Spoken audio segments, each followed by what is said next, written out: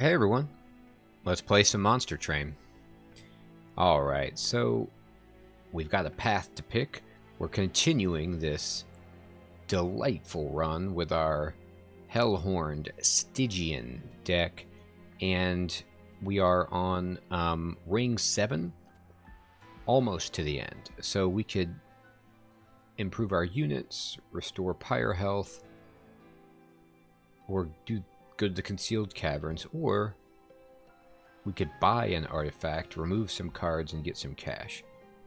Um, I think I've really done a lot to improve my units, um, so I don't think that's going to help me. Let me see if there's any cards that I want to dump. Honestly, I think I can get rid of some torches. I think I'll get rid of a torch and another train, like plain um, train steward.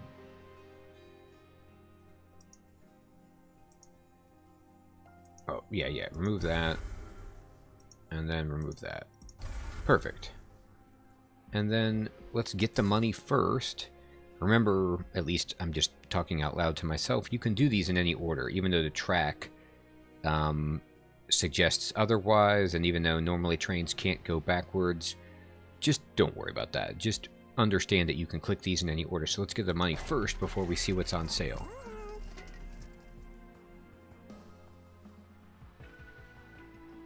Um, I love stuff like this.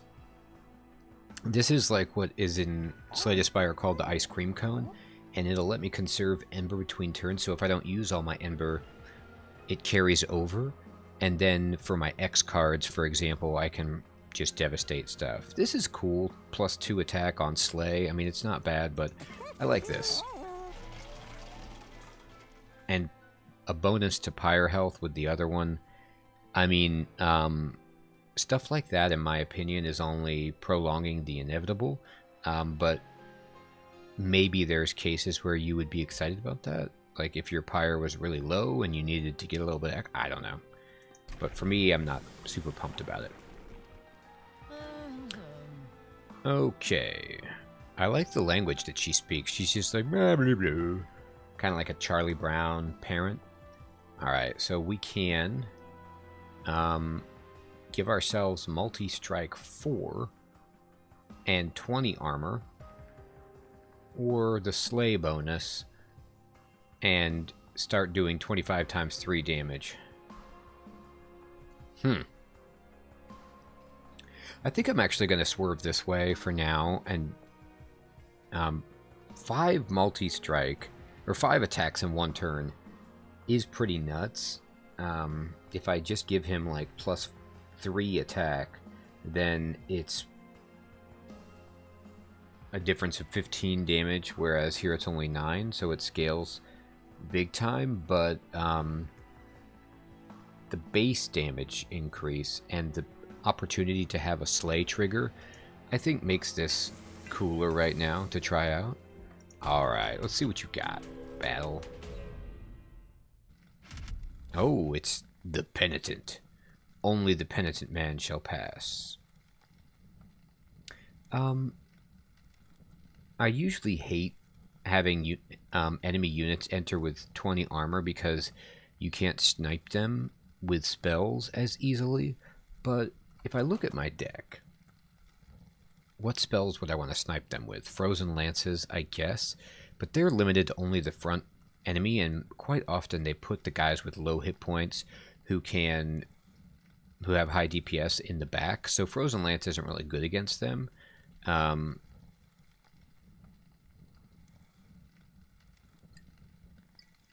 Hornbreak has piercing, so the armor is not important. And then I do have this torch, but it does 22 damage, so if some dude had one health, that would still kill him. I'm going to try it, because 400 coins is a lot. Alright, let's see how this goes. Okay, so 160 health and 10 health. Alright. This is fun. Um, how much damage you guys doing? 11 total?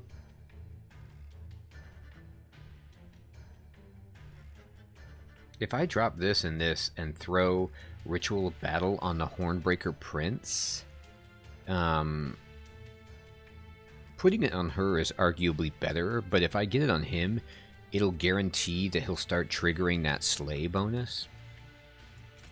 I'm just going to put these out here for now, right? And then... Yeah, 71 times 3 means It'll unfortunately take all three of his attacks to kill that guy, but she'll clean up and kill the other dude. So we'll be fine. He does take 11 damage, which is not nothing. Okay. So luckily he doesn't enter with the armor bonus. See, and also this Pyre Chomper with my Unbroken Horn is just a busted combination because I can just play him whenever. In fact, I can just play him here to take, you know, the full brunt of the attack damage from this guy. So he's going to absorb 8 health and give us 4 Ember that never goes away. I think if I put this... Um, yeah, I can just discard this, bop here, and then throw this guy for free up here and then put this on my Hornbreaker Prince and it just beca it's starting to become um, outrageous. So this guy can easily kill that dude and get us a hundred money. So we're going to get 100 coins there, plus the 400 if we complete this. This is going pretty well so far. We're going to discard this card. And then with my 9 Ember, um, I mean, this guy is just off the charts insane. And he'll get the slay bonus. I think he might actually get the slay bonus for both of these. Let me see how that works out. Um, let's if he goes up to 125, I'll know I got both of them.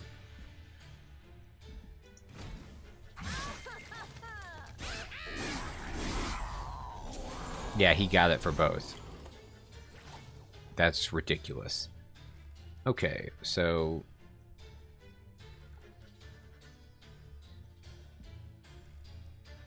Well, let's just give this to my dude.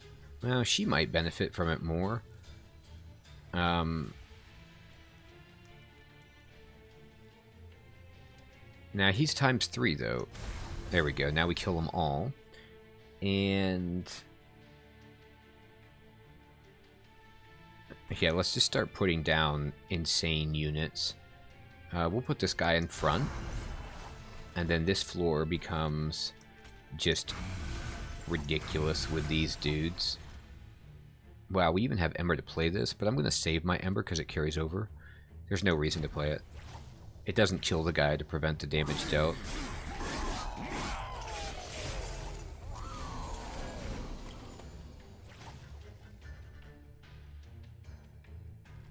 Alright, I need to do something to save him.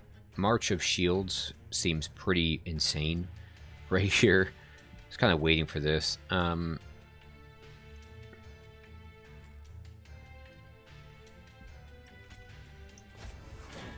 so now she has more health and he'll just get to stay doing his thing. Um,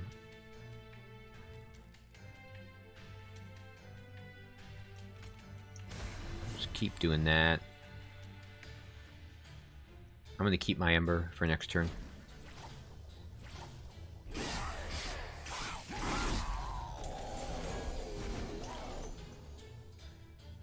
Okay.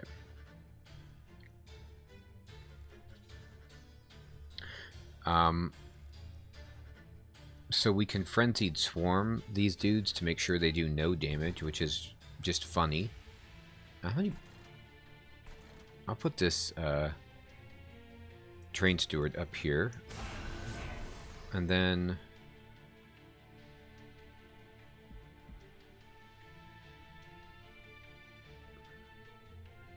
I'll play this just to see if we can get a better card.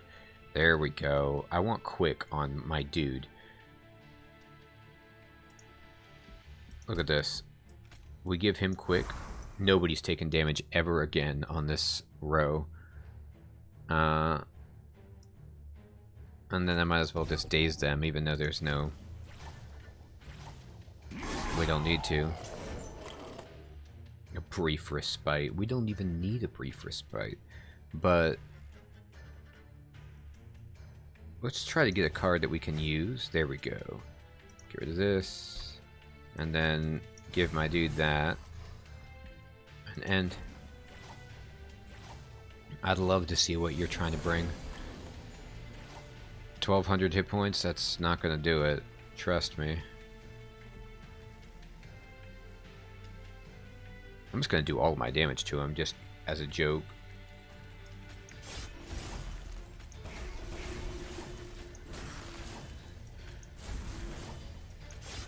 There you go, buddy.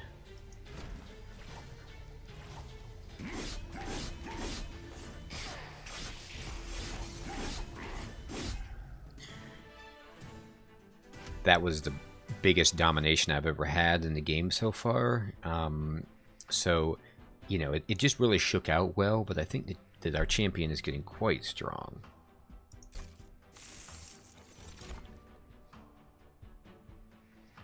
Hmm. Mm-hmm. Wow.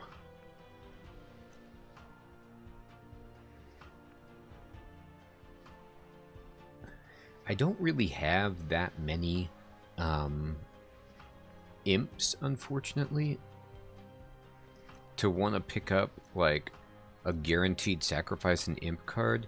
This card I can actually use on my champion.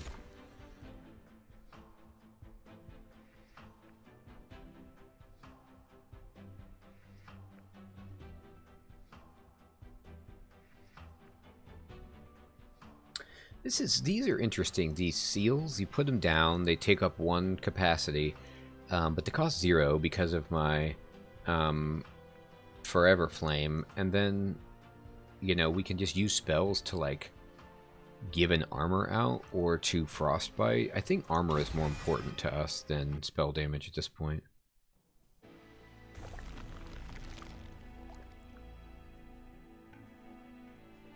Terrific. Options do we have on Ring 8, The Crucible? Look at this chute. I wish I could ride that. It looks sweet. I guess maybe before they were like pumping lava from the scorched plains down into here to smelt. Or I don't know what's going on. Alright, so I can duplicate forge units, remove, money, spells, pyre. Um, I'm going to go over here for the money and the spells. Just because I don't really feel like removing any cards. And I'm curious. Um, yeah, holdover is ridiculous. So if I put, for example, hold over on Frenzied Swarm, I could like have the option to just lock down for the entire fight. Providing I am okay with discarding my hand. I could also just make Frenzied Storm cost nothing. That's pretty attractive.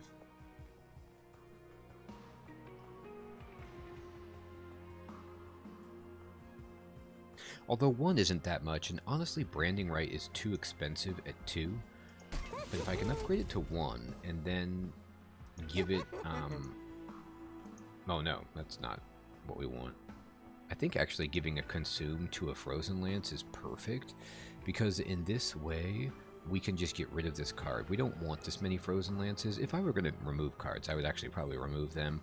It's nice that they do more damage, but not being able to pinpoint them to people in the back row uh, decreases their desirability for me. I could also put it on this, and then it just deals 110 damage and it is gone. That's hilarious. Now, I think I like it here because then it makes this card actually useful. Like all the other cards have a use on their own, um, yeah, do that. Terrific. I don't like that sinister laugh, but I'll tell you what I'm going to do. I'm going to re-roll. I'm going to upgrade all my spells. Um, oh my god, I could remove consume. So you could Surge Stone and then Eternal Stone um, to kind of get the full benefit of the, the 20 power, but then remove Consume. It does make it more expensive, but then you could you could do all three of these to a card and keep it at the same cost. Just give it plus 20 magic power. That's interesting. I don't know how worth it that actually is, though. How many cards do I have that have Consume?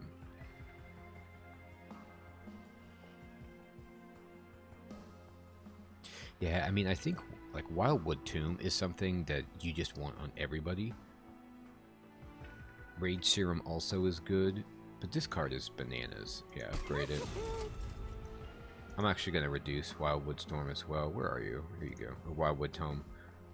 Yeah, let's just have it like be one to put quick. And then I'm going to make another Frozen Lance insane. And this will help us thin the deck a little bit.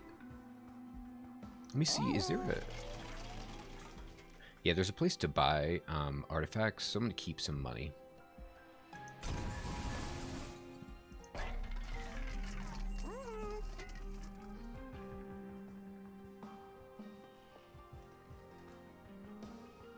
Play a spell, spells in hand that cost less are reduced to zero for the turn. That's pretty great.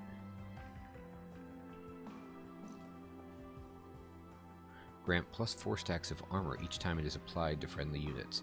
I actually want to try this Railhammer um, because I have this card that I picked up, um, the Guardian Stone. Still, like, if you could play this and then it's instead applying five stacks as opposed to just one each time, that sounds really good. Alright. Let's go on. We're taking on Seraph. Seraph attacks every turn, applies melee weakness to your front unit, and gains rally.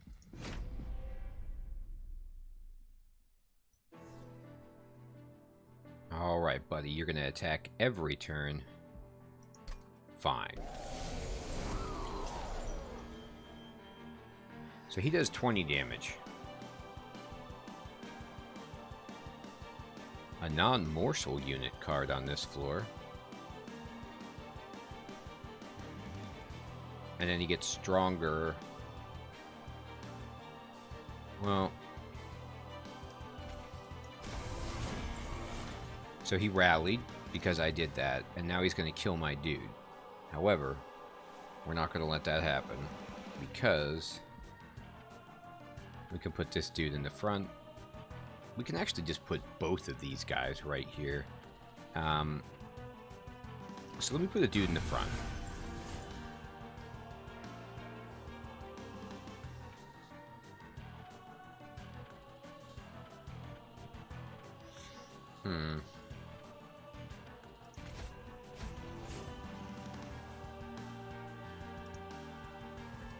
I got an idea. And then I'm going to put this guy up here. Now we actually kill all of them, but these two dudes would die. However, if I... Um, I get bonus four stacks of armor from my Railhammer. If I put this guy up, now only this guy will die. Um, yeah, this is going to be really tough.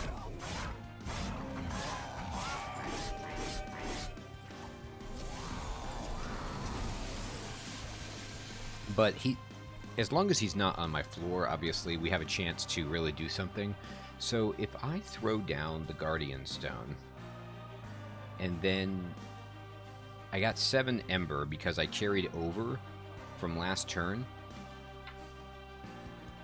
If I throw down the Guardian Stone, I can, like, Ritual of Battle and Torch and incant this twice to bump up the armor on all my people. Um, so I think I have to do that, right?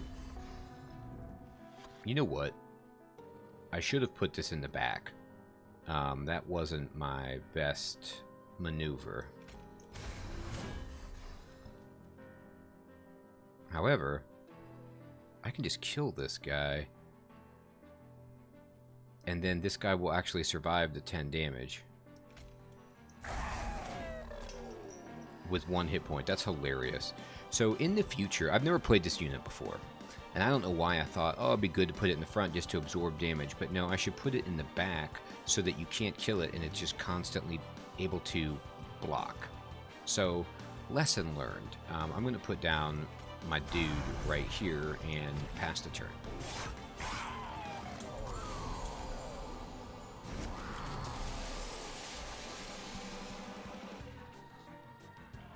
Okay. Okay, so... I can Frozen Lance to kill this guy. Why am I dying? He has 50 health, and I only see 41 damage here. Is there something I'm missing? Oh, oh god. I take two times the combat damage. That's what it is. Okay, good lord. Um,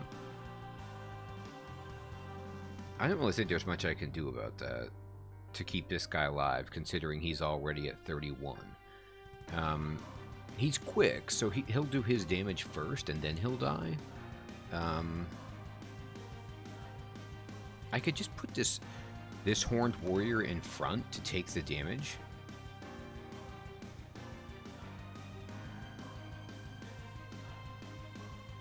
Yeah, I think that's worth it.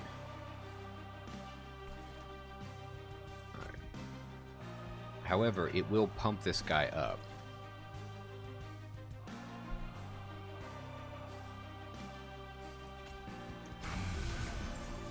Alright, and then let me... I'm going to build up the armor here by just doing Frozen Lance and... Um,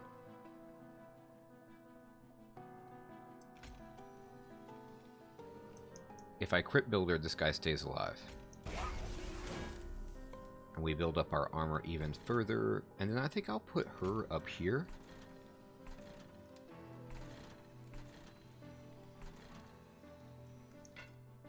I mean not enough capacity. Yeah, put her here. Alright.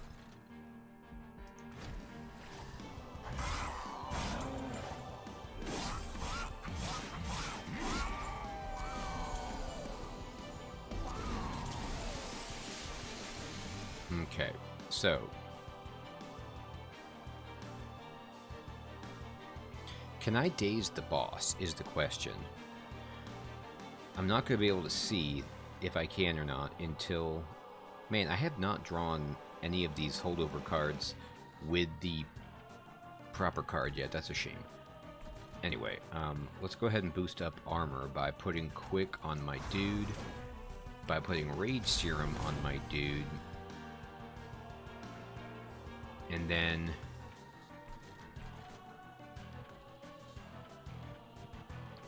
Oh, this guy already got dazed by my artifact.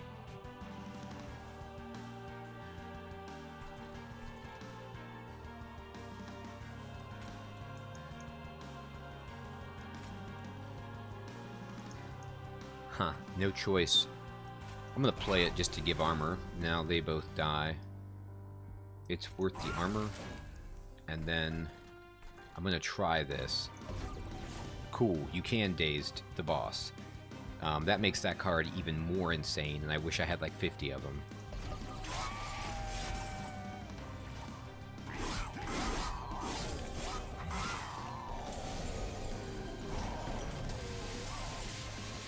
Oh, and by the way, we do have 50 of them because I put holdover on this card.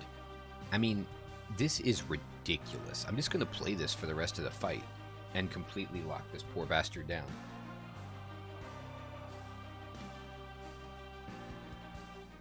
It's a good thing. Okay. So now we finally got the offering totem with the card that we wanted. Boom. It does pump him up, but it gives us armor, and we're going to daze him anyway.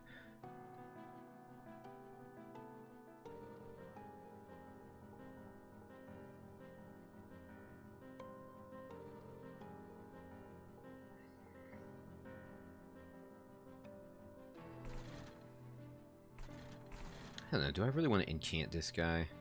Not that much. I'm going to just save my energy with my um, Unbroken Horn and just go ahead and do this. And not enchant that guy too much. We're going to do a bunch of damage to him, like 200 something.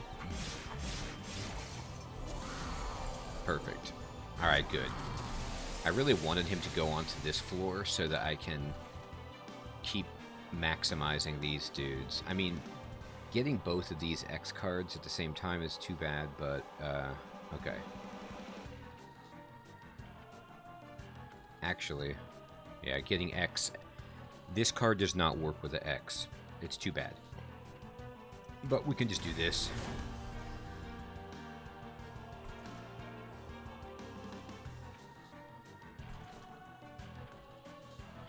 I'm going to play this just to give the armor. And then I will um, Frenzied Storm right there. End the turn.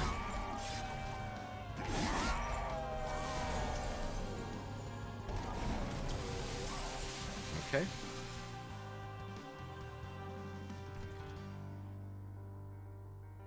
I think it's cool to put this guy down. Why not? And then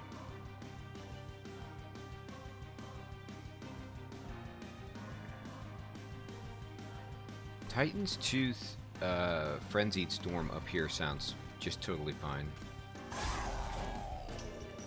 Look how much armor we've built up.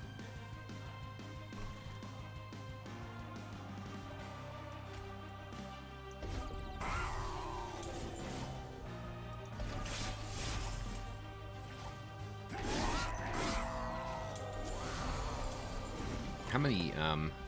Yeah, we already win and our champion doesn't even die, but we can make it even more ridiculous by doing this. So let me, um...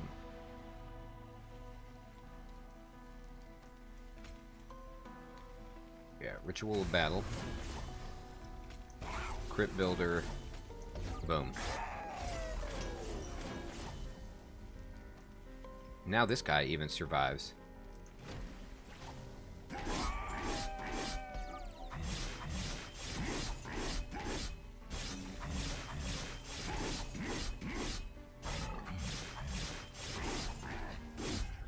Crunch.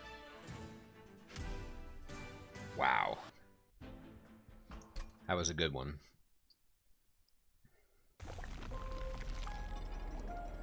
The Frozen Heart. We made it with the pyre. These statues and tentacles are lighting up. Achievement 5, the Breaker of Horns. Maybe because we got the Hellborn to like level 5 or something. All right, so that was Covenant rank 1. And um, now we got to Covenant rank 2. Ooh, now we have a bad card in our deck. Hell yeah. this is very Hearthstone. I love it though. I love these cosmetic things on the cards. You know, the uh, the animations for the cards, very much like Hearthstone, uh, or like the Witcher card game but it's totally cool. Love it. So now we've got these gold borders for these cards. Terrific. And um, we've unlocked the Rail Beater who, wow, he can push people back and he has a bunch of armor. And he only costs one with the capacity of two. That's great. This is insane.